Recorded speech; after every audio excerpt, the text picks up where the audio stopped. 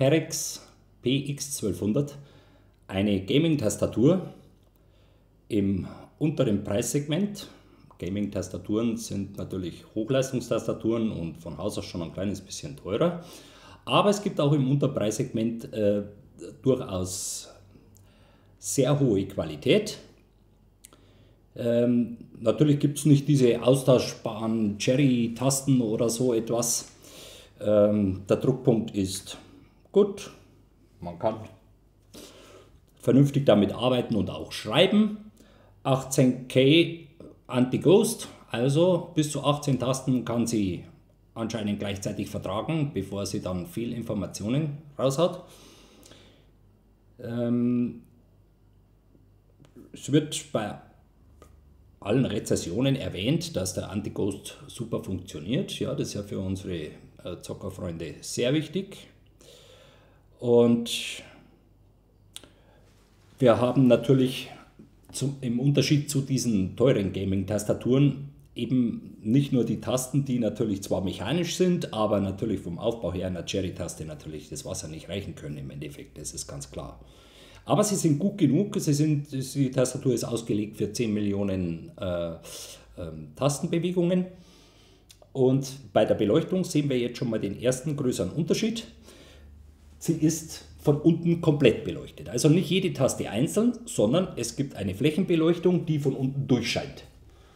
Na? Während bei Hochleistungstastaturen dann eben nur die Taste innen beleuchtet ist, sieht man hier also diese Ränder außenrum. Es gibt ja Leute, die das bevorzugen, ne? das sieht dann ungefähr so aus, ja? wenn man das dann mal hochdreht, ja? dann haben wir das hier. Ja? Ich weiß nicht, ob man es jetzt gut gesehen hat. Okay. So, jetzt können wir da verschiedene Farben einstellen. Ja, blau, rot, lila und dann natürlich Oktoberfest. Ja, da geht eben so durch. Jeder, jedem das seine, ne, wer das so will, wunderbar. Und man kann sie natürlich auch ganz abstellen und hier über dieses Rädchen eben dann die Dynamik oder die Lichtintensität okay, äh, dementsprechend seinen Wünschen anpassen. Wir haben hier fünf Tasten. Das eine ist ähm, für den Media Player, dann laut leise und Lautsprecher stumm oder irgendwie sowas. Und da haben wir eine Windows-Taste, wo man Windows sperren kann. Es ist eine Fullsize-Tastatur, wirklich mit angenehmem Druckpunkt, nicht zu leicht, nicht zu schwer. Und hier haben wir äh, eine Handballenauflage und man sieht es vielleicht hier jetzt.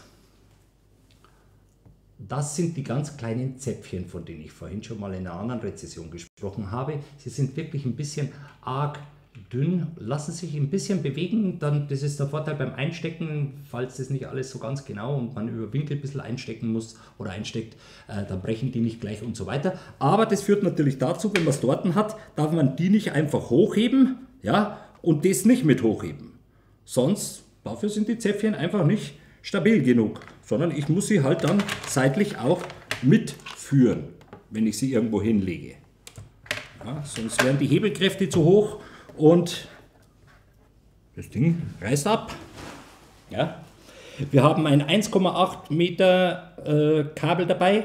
Das ist Kunststoff ummantelt. Das ist sehr positiv, äh, was das Abknicken und so weiter anbelangt. Und sie lässt sich ganz einfach Perlen einstecken, zack, das Ding läuft.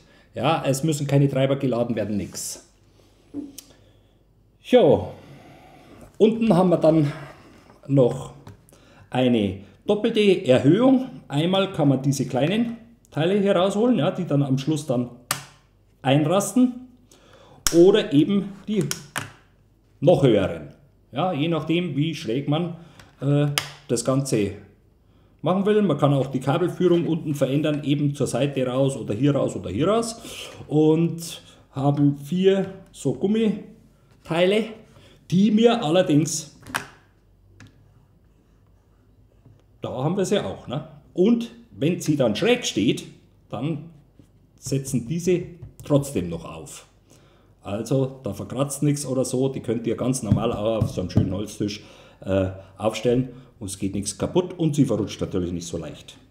Ja, und wenn man sich das mal anschaut, also das ist natürlich dann schon ein ordentlicher Winkel. Gell? Also wenn ich jetzt das Ding da unten noch mit Torten habe, dann kann ich hier schon wirklich feinerle arbeiten. Okay, sie ist wie gesagt im Unterpreissegment. Es gibt momentan nach meinem äh, Dafürhalten, also ich habe nichts gefunden, was dieser Tastatur in diesem Preissegment das Wasser reichen könnte. Unter der Beschreibung der Tastatur und äh, das, dort sind natürlich äh, noch Zusatzinformationen, was sie wiegt, wie breit sie ist, bla bla. Ähm, habt ihr dann diesen gelben Button wieder, wo ihr, wenn ihr draufklickt, zu Amazon kommt, schauen könnt, was sie momentan kostet, äh, Lieferzeit oder nicht und und und. Ja, und natürlich die Rezessionen, nicht vergessen, immer ganz wichtig, aber die sind alle bis jetzt wunderbar. Also kann man wirklich empfehlen.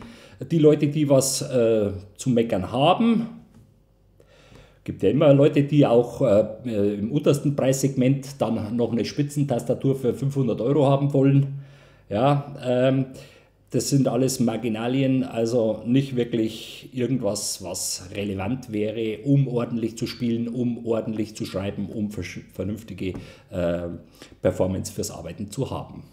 Also Kaufempfehlung unbedingt für eure Kinder oder so, ja, weil Zocker, die legen natürlich dann richtig mal los, ne? also da in der Hektik, zack, zack, zack, da wird dann auch mal ein bisschen fester reingehauen und das verträgt die Tastatur halt relativ gut.